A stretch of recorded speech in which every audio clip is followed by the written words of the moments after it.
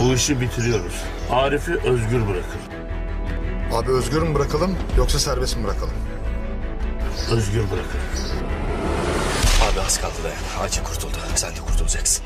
Seni serbest bırakacaklar. Beni özgür bırakacaklar Mete. Beni özgür bırakacaklar. Öldürecekler.